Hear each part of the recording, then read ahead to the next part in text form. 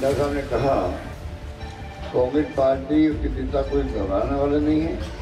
चाहे वो कितना ही ईडी का उपयोग, दुरुपयोग करे, हमारे यहाँ जो टीडी दल आता है उस टीडी जो पाकिस्तान से आता है टीडी दल वो फैसला चेक कर जाता है। ईडी इनकी फैसला को चेक कर है। ईडी जो है ना बीजेपी की ऐसी हालत खराब करेगी गाँव गाँव बात फैल जाएगी कि टीडी दल की तरह ईडी का उपयोग कर रहे हैं। आप समझ जाएगा। इसलिए मैं कहना चाहूँगा कि जो बना लेंगे चाय देखिएगा पहले शुरू हो गए वो लोग कहते लागू होने के बाद में हमले हुए वहाँ पर। और वहाँ किसके ऊपर हुए, सुनिए। प्रदेश कांग्रेस अध्यक्ष रुद्रा था यहाँ पर है।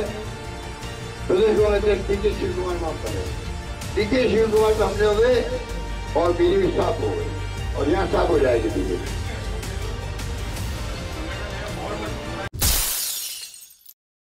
नमस्कार, मैं नाजमिन खान और आप देख रहे हैं एस पी नाइन न्यूज़। स्वागत है आपका मेरे खास प्रोग्राम बात सच की।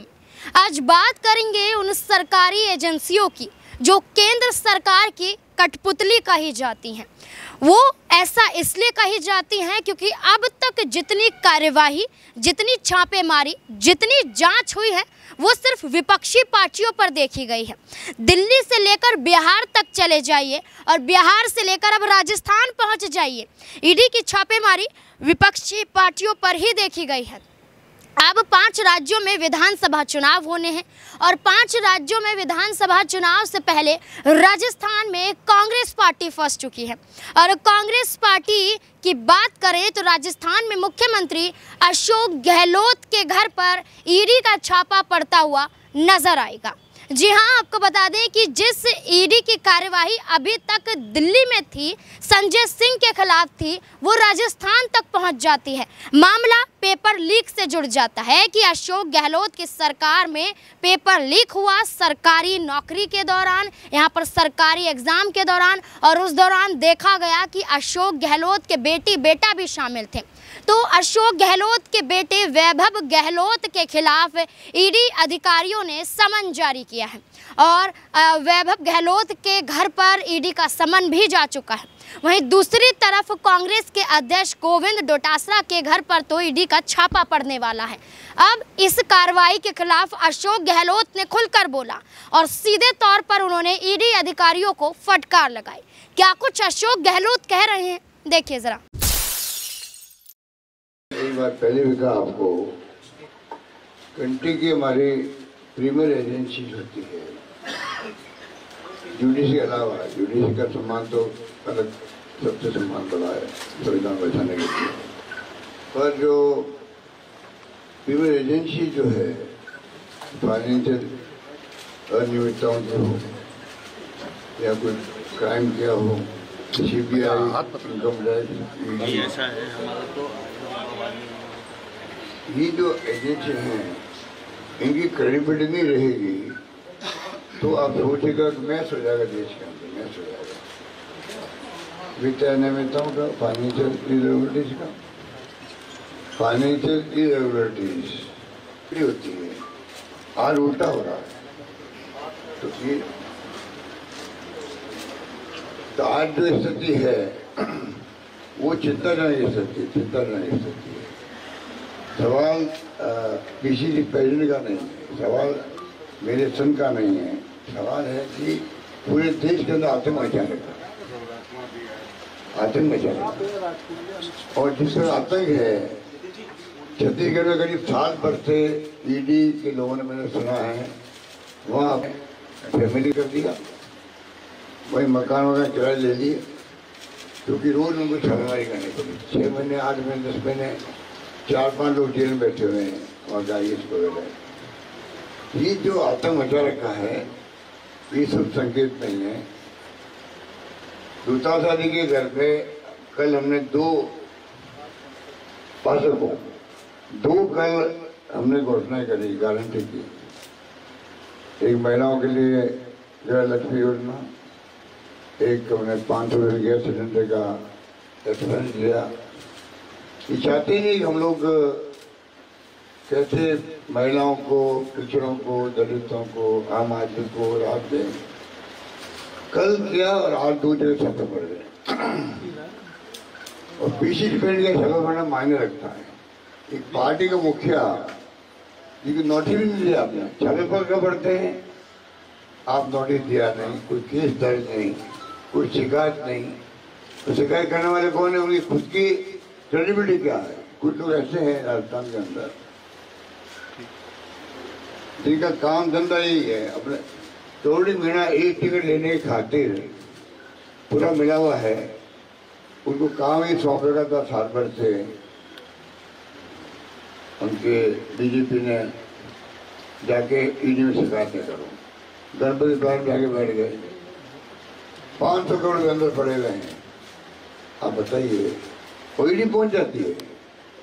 कल मान लो हमारा कोई नेता जाके धरना देगा कि इस प्लाजा के अंदर आठ करोड़ रुपए है। ईडी में नहीं। ये काम इनकम टैक्स का था। शिकायत इनकम टैक्स करते भाई कि मेरे को इतना मिली है कि गणपति प्लाजा के लॉकर से पैसा ब्लैक मनी है। इनकम टैक्स जाँच करती कुछ भी करती। ईडी का वहाँ क्या काम है? मैं एकदम दे रहा हूँ आपको। आज दुतारा जी का छापा पड़ना मायने रखता है। किसान का बेटा है लगा हुआ है जब से वो राजनीति में आए तब से राजनीति कर रहे हैं। एस के अंदर विपक्ष में थे तो भी कमी नहीं रखी। आवाज़ उठाने की समस्याओं को लेकर राजस्थान के। तो किसानों की हो मजदूरों की हो आम आदमी को असेंबली के अंदर या बाहर उस व्यक्ति ने कभी कमी नहीं रखी। हमारी गवर्नेंस को जो है, जिस प्रकार रिप्रेजेंट उन्होंने किया है, कोई कर नहीं सकता। और इसीलिए टारगेट बनाया गया है। इतना ही नहीं अशोक गहलोत की बात करें तो उन्होंने सीधे तौर पर यह कहा है कि सिर्फ़ चुनावी एजेंडा है और चुनावी एजेंडे को साधने के लिए और केंद्र सरकार जानपुर विपक्ष पर जानबूझकर विपक्ष पर सिकंजा कसने के लिए इस तरह की कार्यवाही कर रही है। यहाँ पर राजस्थान में इतना पुराना मुद्दा ऐसे वक्त पर उठाया गया है जब राजस्थान में विधानसभा चुनाव बस नज़दीक आ गए हैं। 25 नवंबर को चुनाव होने हैं और उससे पहले ये बड़ा कदम उठाया गया इसी को लेकर क्या कुछ कहा जा रहा है? देखिए जरा। तुम टिकट मिल गया कांग्रेस का।